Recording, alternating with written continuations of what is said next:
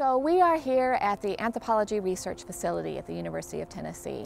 And this is the first human decomposition facility in the world. And this was established in 1981. Uh, we're actually celebrating our 35th anniversary of our body donation program. Oh yeah, For the Body Farm to open this up to uh, us, uh, to NCIS, is huge. This is, I think, one of the first NCIS only classes uh, to have 18 of us here um, at one time. Really gives us the ability to take this back to our field offices because uh, we're from all over the place.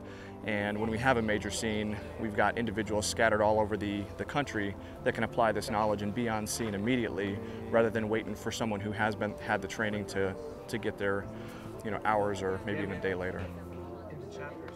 I've been absolutely amazed at the amount of respect that's shown to the human donors by not only the faculty but the students and the entire process is very respectful. Um, everyone's very grateful uh, to be able to use these human donors to study human decomposition and the recovery of human remains. So uh, it's very impressive to, uh, to work with the folks here.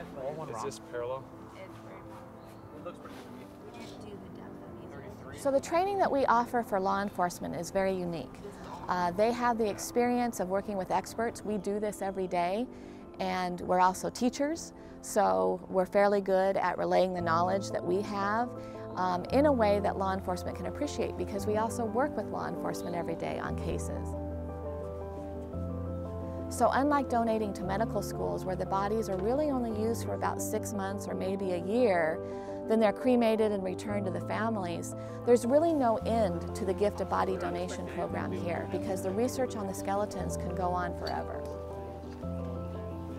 So we were able to bring our, our 3D technology out here to the body farm and kind of test it out in a, in a training scenario before we, are, uh, we deploy it to the field.